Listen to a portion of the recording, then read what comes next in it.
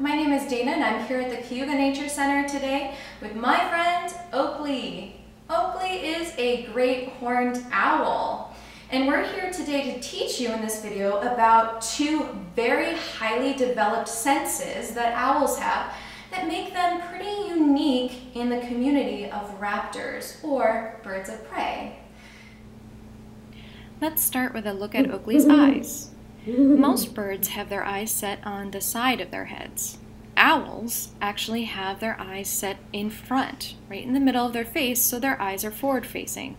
The only other group of birds with forward facing eyes are actually mm-hmm. penguins. Pretty mm-hmm. cool. The other thing you might notice is Oakley's amazing eye color. A lot of owls have very dark brown to black eyes because they hunt almost exclusively at night, and these dark colored eyes allow them to camouflage or blend in. Several owls that are native to New York, however, have an orange to yellow eye, much lighter in color. This has to do with the fact that their hunting habits are a little bit different. These birds actually prefer to hunt during the dawn to dusk hours, which actually makes them crepuscular instead of nocturnal. They actually might be found, just like the great horned owl, hunting into the daytime hours during times of the year when they have to provide food for a mate who is sitting on the nest incubating eggs, or for very young hatchlings and young who may demand more food than they can hunt during the nighttime hours. The other birds that are native to this area that have these light colored eyes include the saw-whet owl and the eastern screech owl. People often think that because owls have such large eyes that are adapted to hunting in low light, that they may not be able to see very well during the daytime. But actually, most owls can see equally well during the daytime as they can at night.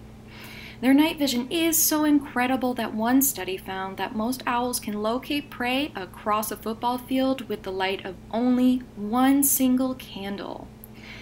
Their vision is approximately 200 times better than our vision as humans. One thing that I love to tell people about here at the Nature Center um, is busting animal myths or misconceptions we might have about um, animals that we just think are true, but it turns out they're totally false. One of those things that I talk about when I take Oakley out is the common question, can owls turn their heads all the way around? A lot of people think that they actually can, but sorry, they really can't.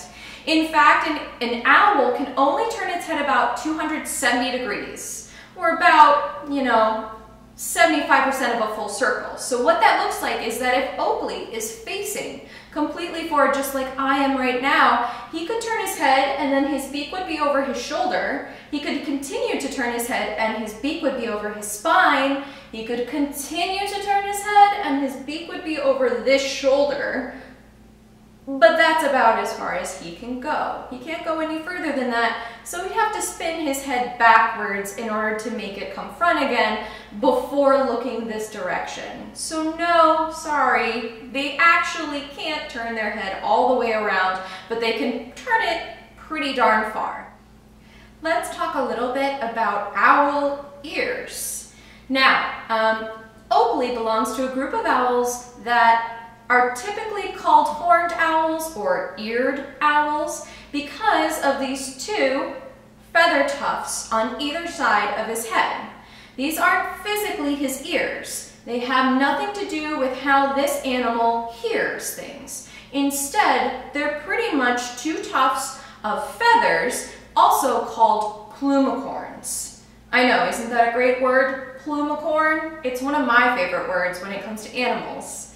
These feathers are hotly disputed in the scientific community about why exactly they might be there.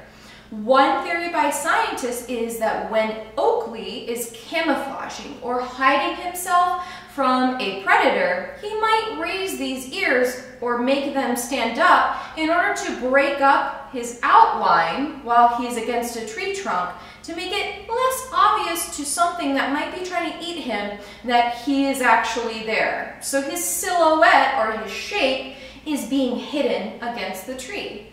Another theory from scientists is based on the fact that these owls can put down those tufts or raise them up depending upon their mood or how they're feeling.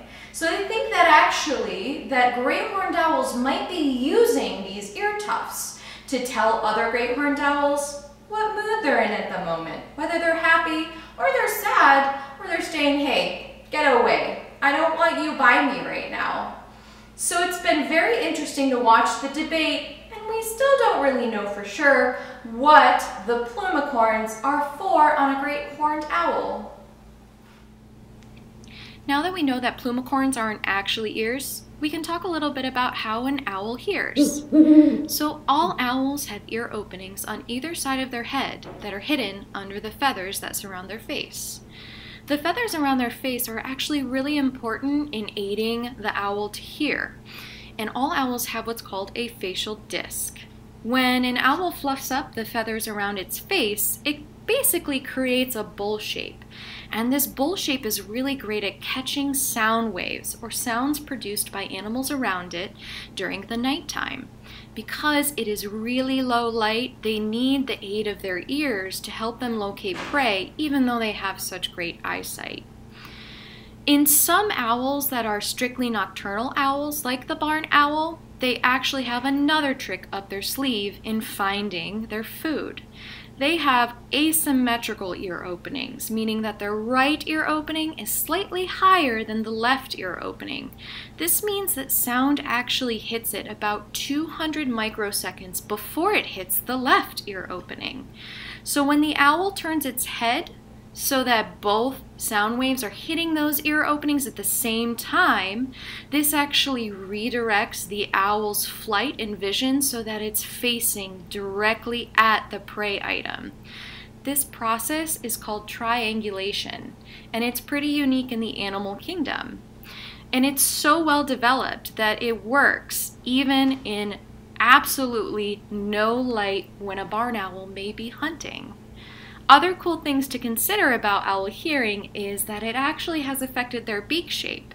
Because an owl's beak is so set close to its face and it has that kind of curved profile where it curves down, this allows sound when it hits the owl's face to bounce off of their beak and directly towards those ear openings. Thank you joining us today and learning all about owl eyesight and hearing. And we have lots more to talk about when it comes to Oakley himself, as well as our other animal ambassadors here at the Cayuga Nature Center. So we do hope that you do tune in regularly to our Monday programs to learn a little bit of more about the animals here at the Cayuga Nature Center. Thank you for tuning in.